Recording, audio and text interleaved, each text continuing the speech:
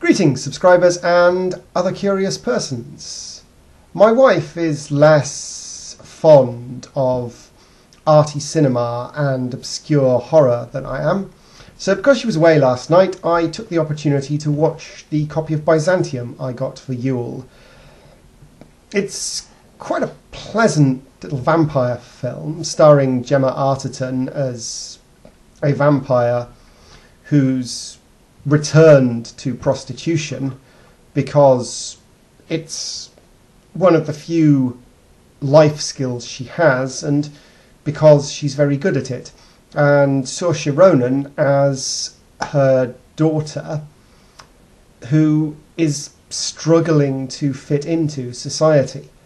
And much like The Hunger, it's very much focused on how dislocating it is to be a human predator.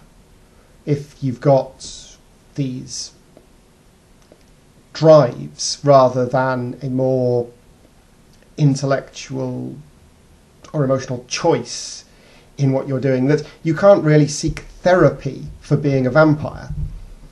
So they're trapped as being almost serial killers. And there is gore in it, but the gore is subsidiary to the plot and is often there in place of other triggering circumstances that affect human beings. So it paints a very interesting picture of just how much temptation humanity places in the way of vampires.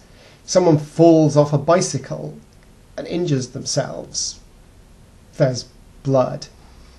People treat women, particularly prostitutes, terribly poorly. So if you have this ability to be stronger, faster, more resilient, and have lived for long enough that you're no longer actually part of society. You're not even actually really linked to your human emotions or drives anymore.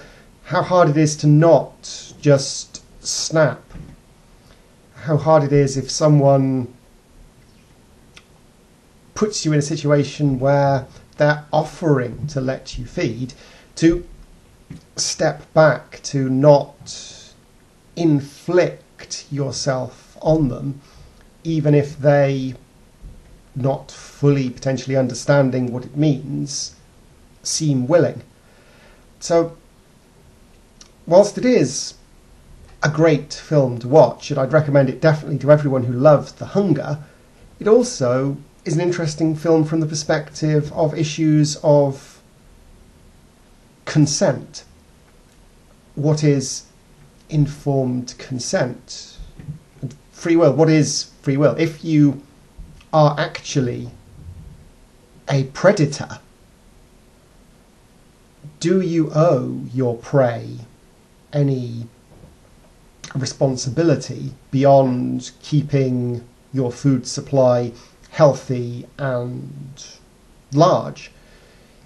If you used to be your prey, does that change the fact that you are now a predator?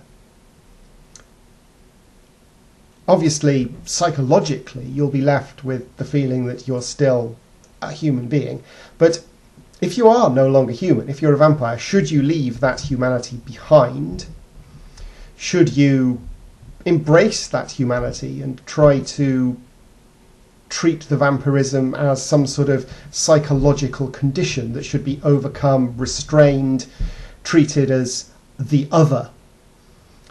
Or should you use the power that you've been granted, seek out those who deserve the justice that human society can't, due to the ability to detect being flawed, or compassion or whatever inflict to end those situations where the strong are oppressing the weak by being stronger.